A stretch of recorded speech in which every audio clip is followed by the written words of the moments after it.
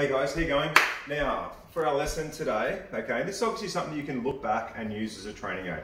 I'm going to go through four shoulder escape techniques. So someone grabs you by the shoulder, what to do. I'll go through the basics first, okay? Now remember, your basics are generally going to be the most important techniques. You, someone grabs you, it's generally just going to be a grab, but aggressively. So as you progress and, um, you know, just become more advanced and develop your fighting or self-defense style, you need to be more explosive. You need to learn to do it under more pressure, okay? And that's how we're gonna progress. But I'm just gonna show the technique easily now, okay? There'll be a couple of different ones, okay? So I'm, we might start here. As soon as the person grabs my shoulder, I'm gonna drop back into a sparring set to a strong position. My hands will come up.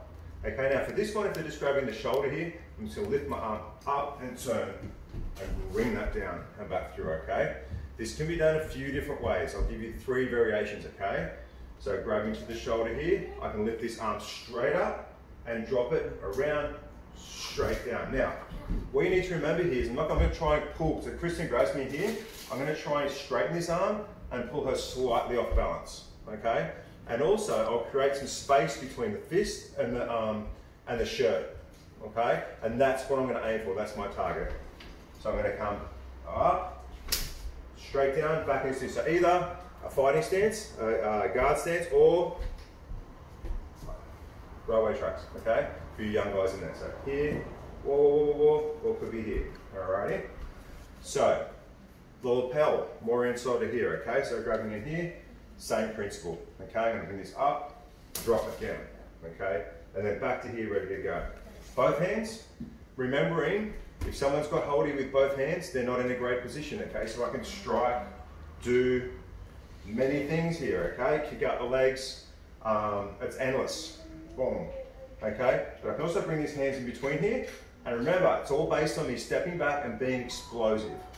Okay, so I might distract Chris if she's been really strong here. I might distract her with a, a cup hand strike or strike, depends on the situation, and then come through. But if always a come straight back to here. So I'm coming in, out, as I step back. Remember again, straightening Kristen's arms. She's weaker if her arms are straight, and I'm pulling her off balance, okay? So one more time, I come up, straight to here, perfect, okay? Exactly what we want. Now, moving right along, we'll go through um, one more variation. So Kristen's grabbing here. For this one, we're gonna, a lot of you guys have seen it, we're gonna distract first. So one, shoot this arm straight up, and then I'm gonna move in, and gonna bring this arm under. And we're just gonna lock this up. Okay, we'll do that one from a different angle. So strike first, shoot this hand up. Now I'm to cut into here. I'm going to cut into here as I step forward my front foot. And I'm going to get up under the armpit. I'm going to drive, just, okay, should come around here a bit? Oh, come around here a bit.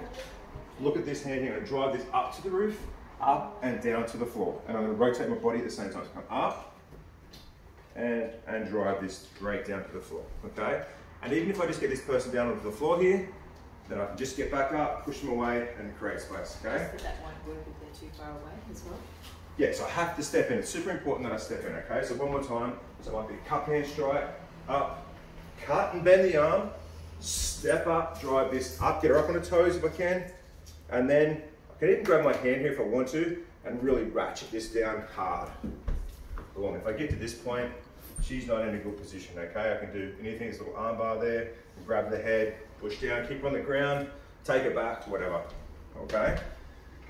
I think that might do you guys today. So, so try that figure four, do it gently if you're doing it with your training partner, okay? But mainly I want you guys to think about, one more time, up, straight down, so turning, away, and down straight up, moving straight back to here, double, thinking about your strikes from here, but coming up to the center and out to here, okay?